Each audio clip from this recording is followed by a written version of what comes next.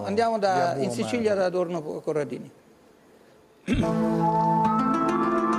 Nelle campagne della Sicilia avvengono da tempo strane esercitazioni militari che i contadini non si sanno spiegare. Ci sono carri, ci sono elicotteri, scendono marines, tutti attrezzati con eh, armamenti a seguito e pongono degli oggetti anche di misurazione o forse di controllo all'interno del territorio. Tra l'altro in territorio non sono poligoni di tiro, non è territorio militare, ma sono zone coltivate a grano eh, in aperta campagna. Addirittura alcuni lamentano di avere perso parte del bestiame perché impauriti si buttano dalle valli, si buttano nei precipizi, così come alcuni puledri. Voi come fate a saperlo? Noi abbiamo avuto continue testimonianze, sono contadini e povera gente che è preoccupata per perché nel cuore della notte sente rombi di tuono. Abbiamo delle fotografie che ritraggono proprio questi elicotteri sospesi in aria nel territorio palermitano, in cui in una prima fase i Marines americani si facevano avvicinare e fecero delle foto con alcuni contadini. L'ultima che è proprio stata registrata la vigilia di Pasqua, ma riteniamo che queste operazioni non, non siano autorizzate perché altrimenti sarebbero avvenute in zone militari.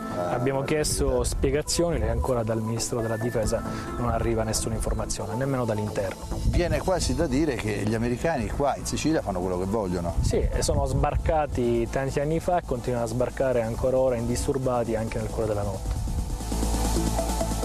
Vabbè, tanti anni fa sono sbarcati in una guerra di liberazione, adesso però la situazione è leggermente diversa. Fava, eh, ci scappa, come si dice, un'interrogazione parlamentare o una o qualcosa del genere, insomma un'azione politica per cercare di fare, perché credo che di questo non si sappia niente in giro. Sì, ci scappa fa... ed, è eh. giusto, ed è anche giusto che si chiarisca una volta per tutte eh, quali sono i limiti e i doveri all'interno di un dobbiamo rapporto farlo, di collaborazione. A giudicare dai titoli di coda dobbiamo farlo in 30 secondi. Ehm,